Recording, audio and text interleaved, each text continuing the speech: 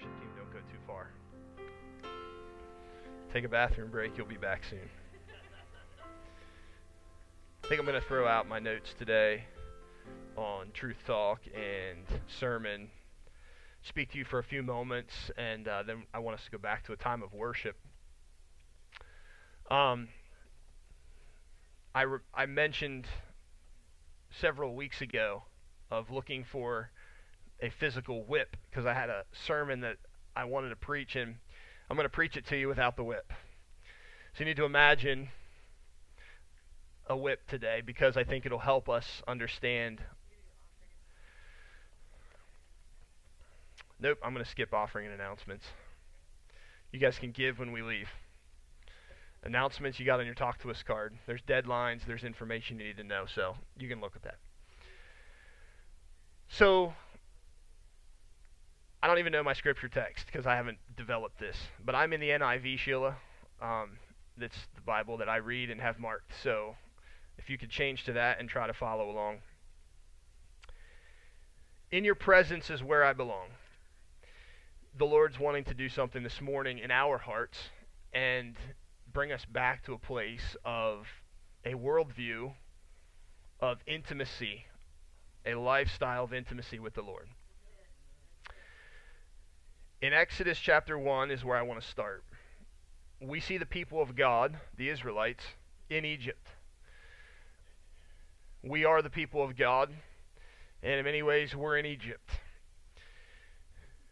The Bible says in verse 8, Exodus 1 and verse 8, a new king who did not know about Joseph came to power in Egypt. You recall Joseph was there, and he rose to power the Israelites were sur- they survived the famine. The family moved to Egypt, and they're saved. They're living there, and they begin to increase in number. A new king who did not know about Joseph came to power in Egypt. Verse 9 Look, he said to his people, the Israelites have become much too numerous for us. Come, we must deal shrewdly with them, or they will become even more numerous, and if war breaks out, we'll join our enemies fight against us, and leave the country.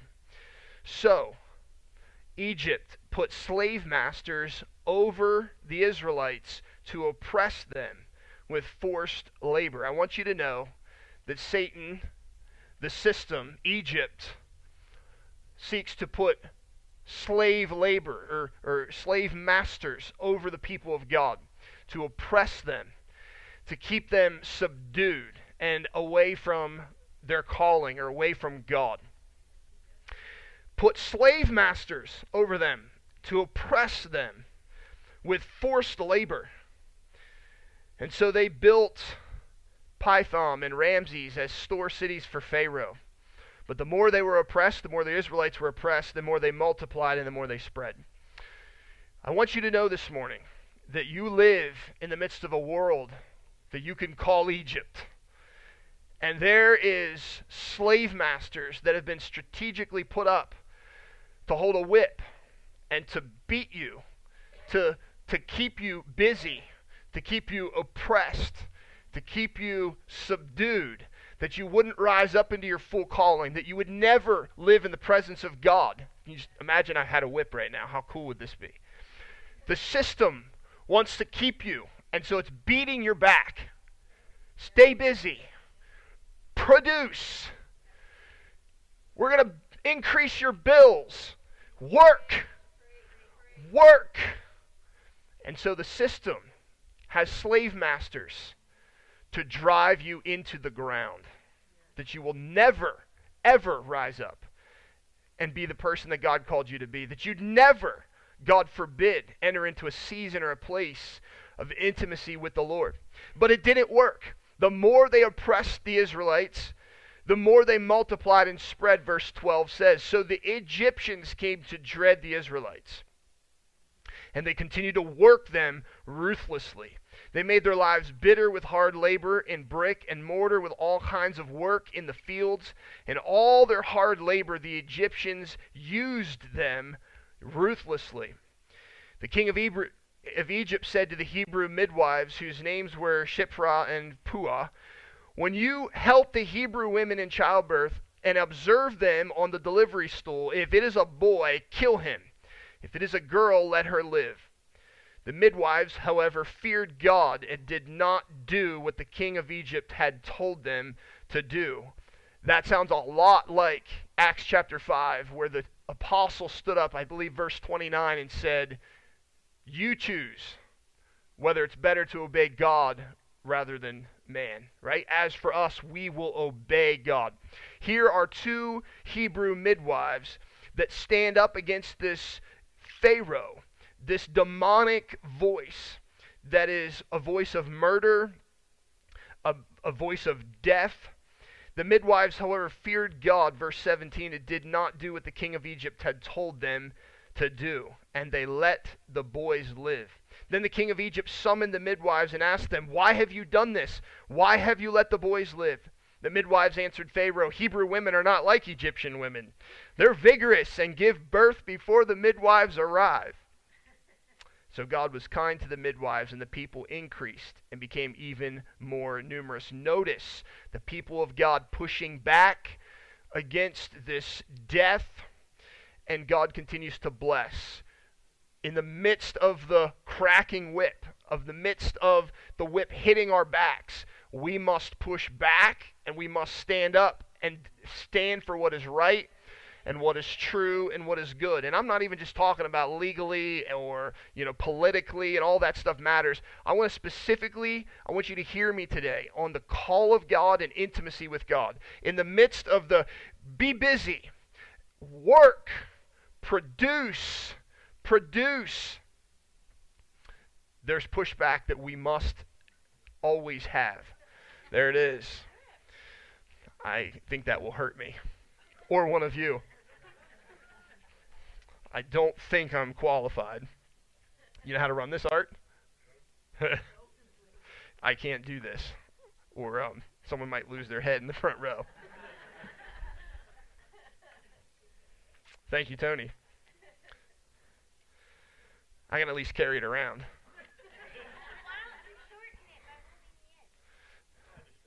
Just, just try it. See what happens.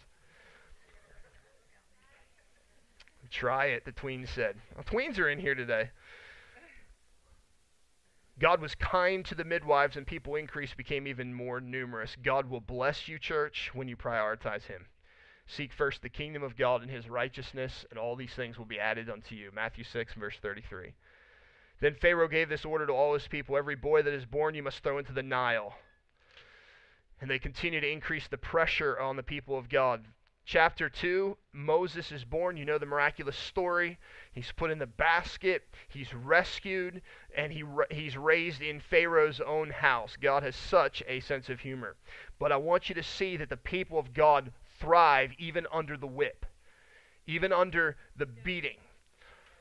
Moses flees then to Midian after he kills an Egyptian. He's pushing back, he's rising up. He has the burning bush experience in chapter 3. God calls Moses to go back to release the children of Israel. Verse 4, we see multiple signs, God proving he's behind Moses. He sends Aaron. And then I want you to see Exodus chapter 5. Verse 1 Afterward, Moses and Aaron went to Pharaoh and said, This is what the Lord, the God of Israel, says Let my people go, so that they may hold a festival for me in the worship in the desert. I want you to just, for a moment, imagine this as let my people go so that they may hold worship for me, that they might be quiet before me, that they might serve me, that they might live the way I intended them for, to live. Let my people go, Egypt. Let my people be free from the whip that is beating them and, and cracking down on them and that is, is driving them to such exhaustion they have nothing left and they can't ever get alone in the presence of God. They, they don't ever have time and they never have enough. They're just beat down. They're beat down. Let my people go. Verse 2 Pharaoh said, Who is this Lord that I should obey him and let Israel go? I do not know the Lord, and I will not let Israel go. Then they said, the God of the Hebrews has met with us. Now let us take a three day journey into the desert to offer sacrifices to the Lord our God, or he may strike us with plagues or with the sword. The king of Egypt said, Moses and Aaron, why are you taking the people away from their labor? Get back to your work. Then Pharaoh said, Look, the people of the land are now numerous. You can just see Pharaoh looking at his advisors. Look at him thinking this. They are now numerous. And so Moses and Aaron, you are stopping them from working. Verse 6 That same day, Pharaoh gave this order to the slave masters and foremen in charge of the people You are no longer to supply people with straw for making bricks. Let them go and gather their own straw but require them to make the same number of bricks as before. Do not reduce the quota. They are lazy. That is why they are crying out, Let us go, let us go. Make the work harder for the men so that they keep working and pay a no attention to lies. Church, this is the voice of our culture. Make them work harder so that they pay no attention to church. Make them work harder so they pay no attention to God. Make them work harder. Make them work harder, harder. Make them produce more.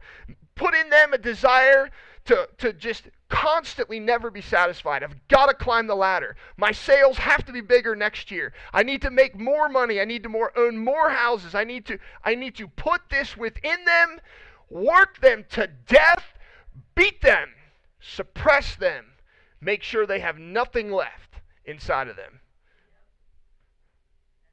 The spirit of the slave master. Verse 10. Then the slave masters and the foremen went out and said to the people, This is what Pharaoh says I will not give you any more straw. Go and get your straw wherever you can find it, but your work will not be reduced at all. So the people scattered all over Egypt. They scattered. Notice the intention of the slave master is to scatter the people of God, to scatter them, to cause them to be just frazzled, with never anything left over, constantly run ragged, exhausted. There is no margin in the Egypt or in the Israelites' life. There is no such thing as margin. The slave master has beat them, has driven them, has forced them and pushed them. He has created a culture where they're always on the go, always working, always needing to produce, or else you'll never make it. You're going to die if you don't produce the bricks. You're going to die if you don't work six, seven days a week. You're not going to be able to pay your bills. You're going to go under. The spirit of the slave master, scattering the people. So they scattered all over Egypt to gather stubble to use for straw. Do you realize that the call of God on you is not to be scattered across here and there, trying to gather straw to make bricks for Egypt? The call of God upon you, church, is to be completely connected to the Lord, and from that place live for Him. Do not let the slave master, do not let Egypt define your purpose and your calling. Do not let this system that we live in drive you to a place of being scattered and frazzled and no margin and where your the sum of your existence is literally to gather straw and stubble to make bricks for Egypt. Brothers and sisters, you are called to the kingdom, not to make bricks for Egypt. Verse 13 The slave masters kept pressing them, saying, Complete the work required of you for each day, just as when you had straw. Verse 14 The Israelite foreman appointed by Pharaoh's slave drivers.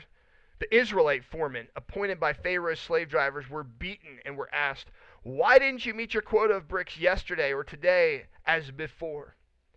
Then the Israelite foreman went and appealed to Pharaoh. Why have you treated your servants this way? Your servants are giving are given no straw, yet we are told, Make bricks! Your servants are being beaten. But the fault is with your own people. Pharaoh said, Lazy, that's what you are, lazy. That is why you keep saying, Let us go and sacrifice to the Lord. I want you to know the spirit of the slave master, the spirit of our, our culture, our world, is out to manipulate the way you think. You are lazy. You are not lazy. The problem is with Egypt. The problem is with Pharaoh. The problem is the system. The problem is the slave masters. But oh no, lazy are you. People of God, you're lazy. What are they doing? They're trying to manipulate and change their worldview and cause them to think it's normal to work seven days a week. It's normal to no longer spend quiet time.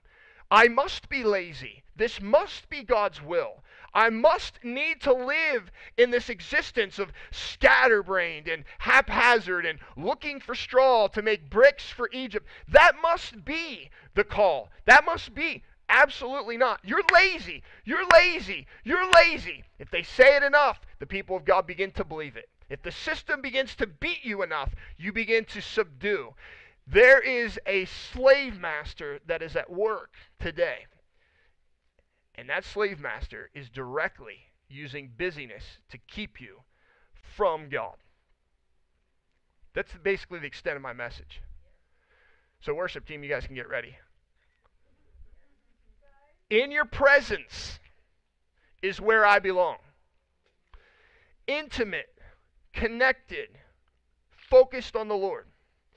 But there is a very real slave master. You guys feel the beatings? Have you felt it? How about the last six months? Have you felt the beatings? Have you felt the impact on your budget? Produce. Produce. Work. Be busy. Your kids need to play every sport. You need to work the second job. You need to go and say yes to everything. And at the end of the day, you're crawling in bed exhausted, having lived for Egypt and made bricks. And you constantly, every day, hear the scream in your ear work, produce. This is what life is. Church, I'm here to tell you this is not what life is. The spirit, the beating, the lazy that you're hearing spoken over you is from Egypt, not the Lord. The Lord has called us to live in his presence. Business people, hear me. Business is not your purpose in life. Business is awesome, but you are not a slave of Egypt. You are a son or daughter of the Lord. We do not live for Egypt. We do not live to climb the corporate ladder. We do not live for a big retirement. We do not live for houses. We do not live for these things. The spirit of the slave master, busy, produce, produce, and it just keeps nonstop every day. Every day. Just keeps beating you. You know what I'm talking about? Have you felt this spirit? You know what I'm talking about? Produce. Produce. This is not the Spirit of God. In His presence is where I belong. In His presence. This is about priorities, and this is ultimately about standing up to a system that wants to beat you into the ground. It'll beat you the whole way till the day you die. You need to make a stand today against the spirit of the slave master that wants to just completely obliterate your life with busyness. You need to stand up and say, Let me go. I'm leaving. I refuse to go be scattered. I refuse to live my life running here and there and everywhere just to keep up with the Joneses. I refuse to do anything contrary to what the Lord wants me to do. I refuse to have that whip hit my back every day. I refuse to just do it the natural way. I refuse to just have it that the world and Egypt defines my existence. I will not let my calling be murdered. I will not let my offspring and my my future to be destroyed. I will stand up and fight. You realize the children can be naturally paralleled into a spiritual lineage, a spiritual offspring. If you let the system, if you work for bricks and mortar, if you work for Egypt all day long, you won't have a spiritual offspring. If you don't get your priorities right, your kids aren't going to serve God. And your spiritual kids, you are called to influence. Do you know there is a sermon, entire another message? I call it Anonymous Ananias. Ananias was the man that ignited the Apostle Paul and went and, and, remember, Paul was blind, Saul on the road to Damascus, and, and the scales on his eyes, and they fell off when Ananias, a man of God, walked up to this persecutor, this violent Saul, and gave him a word from God. And it activated the greatest apostle that has ever walked on the face of this earth. The spirit of the slave master wants to beat you that you don't active, activate Saul of Tarsus. Wants to kill your spiritual kids, kill your natural kids. He wants you so busy you're distracted that you never have time. You never have the ability. He's just beating you, beating you, beating you. And then what happens is Saul remains Saul. And your kids become ensnared in, in the devil. This is the spirit of the slave master that they would never rise into their potential, that Egypt would always own them. Oh, they might be a Christian, but they are subdued and we beat them every day. Church, I declare over you that you are freed from the spirit of the slave master. We have to come out from under that. We are not to live in Egypt, beaten every day, beaten, beaten. In his presence is where I belong. The spirit of the slave master's number one goal is to keep you from the presence of God. If I had time to develop this sermon, I'm giving you the best I got. If I had time to develop it, there would be multiple points because this is a rich passage. Go study it. Then you can preach it someday. Look at what the spirit of the slave master begins to do. It's a powerful message.